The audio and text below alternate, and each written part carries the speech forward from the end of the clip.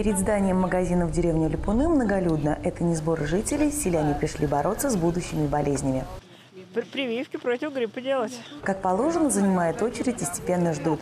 Есть в Липунах и такие, кто постоянно делает прививку от гриппа. Да я, можно сказать, тут не болею. И таких в каждой деревне немало. 12 дней подряд фельдшерско-акушерский пункт будет курсировать по населенным пунктам. на сезонной вакцинации против гриппа на автобусе, на мобильном, которым мы очень рады.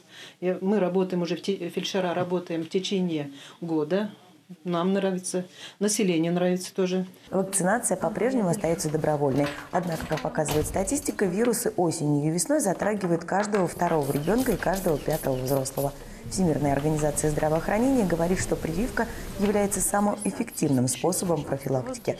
В группе риска малыши, беременные, люди с хроническими заболеваниями органов дыхания, с нарушением обмена веществ, пожилые. Именно им вакцина, как настаивают медики, необходима. Ведь у гриппа не столько сама болезнь страшна, сколько последствия от него. Эпидемиологи учитывают и то, что ежегодно вирус мутирует. Поэтому важно определять, какой штамм будет циркулировать в этом сезоне. Сейчас ставят Савигрипп. Селянам удобно и то, что за вакциной не надо ехать в город. Померяют давление у нас, температуру.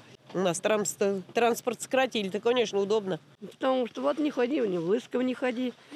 Не- и не на чем. Автобусы не ходят.